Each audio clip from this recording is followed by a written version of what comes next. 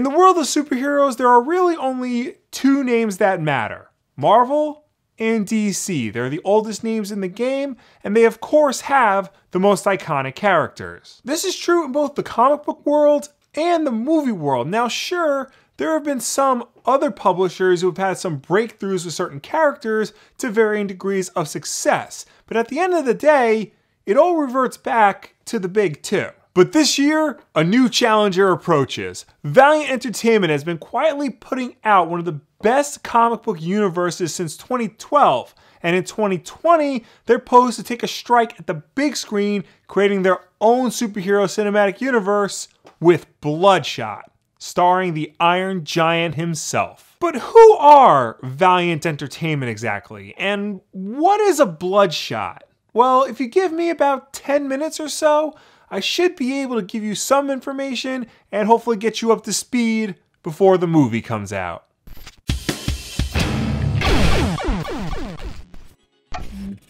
So initially this video was just gonna be a Bloodshot primer, something to give you a little bit of information on the character before you go see his movie in March. But as I was writing the script for this episode, I began to realize that in order to talk about Bloodshot, I should probably also talk about the character's publisher. Valiant has been a quiet powerhouse in the comic book industry for years, but much like everything that's not Marvel or DC in the comic book world, most people just don't know about it. Well, hopefully I can change things today and inspire at least some of you to go out and check out not only Bloodshot, but some other Valiant titles as well because Valiant has been putting out a lot of great comic books over the years, and a lot of them slightly outside the typical superhero norm. So back in 1989, former Marvel editor-in-chief Jim Shooter, along with lawyer Stephen Massarsky, formed Voyager Communications. After a failed bid to actually purchase Marvel Comics, they launched their own comic book line, Valiant Comics. Valiant's first comic title was published in 1991 and was Magnus Robot Fighter. Now, Magnus and a lot of other early Valiant titles were actually licensed from Gold Key Comics. Valiant's first true original character was Rai, the Japanese spirit guardian from the 41st century. From there, Valiant would go on to create a whole slew of unique and instantly iconic superheroes such as Ninjak, Harbinger, Dr. Mirage, and of course, Bloodshot. We'll come back to him in a moment. In 1994, Valiant was purchased by Long Island's own Acclaim Entertainment. Yes, the defunct video game publisher. Acclaim bought Valiant with the hopes of having a slew of in-house IP to make video games out of, and to their credit, they actually did make video games out of some Valiant properties. We got Shadow Man, we got Armorines Project Swarm, hell, Turok was a Valiant Gold Key release. That's why we got a slew of Turok titles during that era. Valiant was later rechristened as Acclaim Comics and still put out a lot of really good high quality books, but unfortunately they closed down in the early 2000s due to their parent company's ongoing financial issues. However, in 2005, entrepreneurs Dinesh Shamdasani and Jason Kothari bought all the Valiant assets from Acclaim for themselves. They didn't buy the Gold Key properties though, those reverted back to the original licensors. That's why Valiant doesn't make Turok comics, Dynamite actually makes those comics. Although, Valiant might be making Turok comics again. That's what they're hinting at, at least. Anyway, in 2012, Valiant officially returned as Valiant Entertainment, and since then, they've been putting out great, high quality comics set within their own comic book universe featuring all the original Valiant characters like X-O Manowar, Archer and Armstrong, and of course, Bloodshot. Bloodshot was one of the original Valiant superheroes, created in 1992 by Kevin Van Hook, Don Perlin, and Bob Layton. He originally appeared in the pages of Eternal Warrior and Rai before getting his own ongoing series the following year. In the original run, Bloodshot was Angelo Mortali, a mob hitman who is about to go into witness protection but is then betrayed and kidnapped. He's forced to be part of Project Rising Spirit, a program in Japan that pumps its subjects with nanomachines in order to create the perfect soldier. These nanomachines, or nanites as they're called in the series, work to rebuild Angelo from the ground up, repairing any wound or injury he may incur. He can also control electronic devices and alter his own body for maximum efficiency. However, Project Rising Spirit erases Angelo's memory and replaces them with new ones to carry out secret missions. Eventually, Angelo learns of this deception goes rogue and seeks revenge not only against Rising Sun, but all of those who have wronged him. Now that's the original Bloodshot. The modern day Bloodshot from the 2012 relaunch by Duane Swierczynski, Manuel Garcia, and Arturo Lozzi pretty much shares a lot of the same aspects of the original, the powers and the amnesia, but the person who Bloodshot is and some of the backstory is a little different. The modern Bloodshot doesn't really know who he is. He thinks he's Ray Garrison, a former soldier who got roped into joining Project Rising Spirit. This time around, there's more of a focus by the project to try and suppress the emotions and desires of their soldiers so they can perform their missions with greater efficiency. Bloodshot still eventually learns that he's being manipulated and brainwashed, but rather than piecing it together himself, he has help from a character called Kerchak, and allying him with other Valiant characters like Toyo Harada and the Harbingers in a battle against Rising Spirit. Now admittedly, this is just a basic overview of the character of Bloodshot. There's a lot going on with this character even in the beginnings of his story.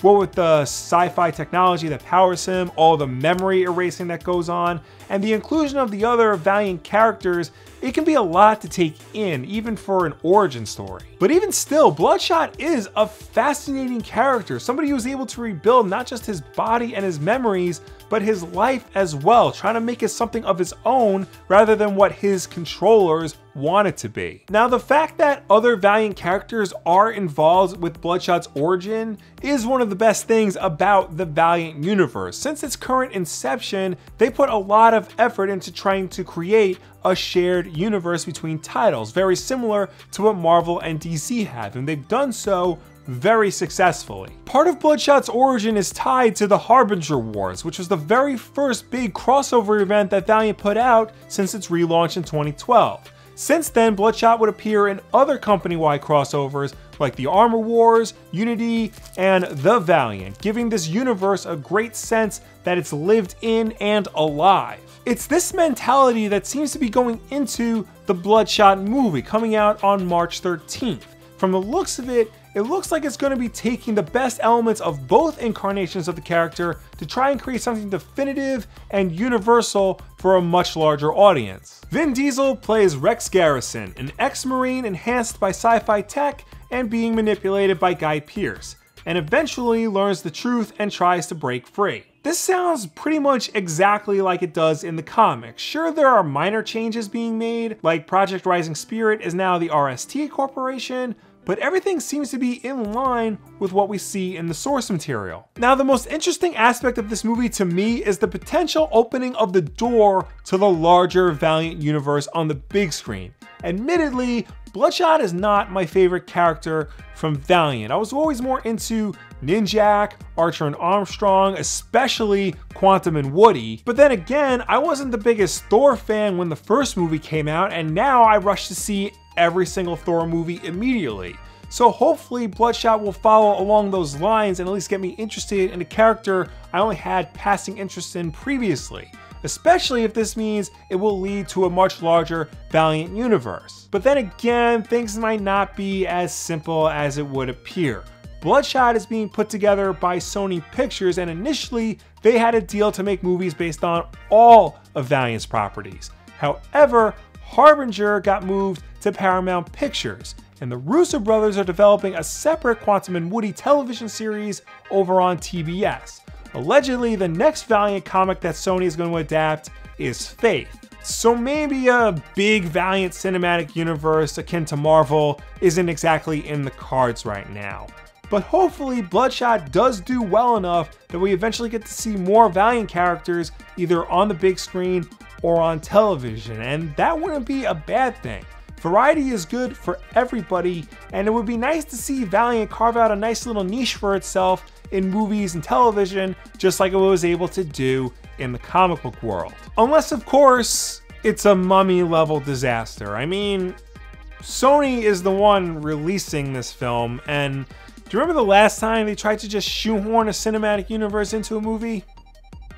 Didn't end too well. But are you guys excited for Bloodshot? Are there other Valiant comic characters that you think are more worthy to be the first Valiant character to make it to the big screen? Or are there any other lesser known comic book properties that you think should be made into movies? Let me know down below. Or anywhere on the internet. Valiant does have a lot of really cool comics that would make great movies. X-O Manowar could be their answer to Iron Man, Shadow Man would be a really sweet, spooky, supernatural type film, Eternal Warriors would be a really cool sword and sorcery picture, Ninjak is essentially James Bond, if he was also a ninja. Or you know what, forget the Quantum and Woody TV show, just make that a big budget live action movie.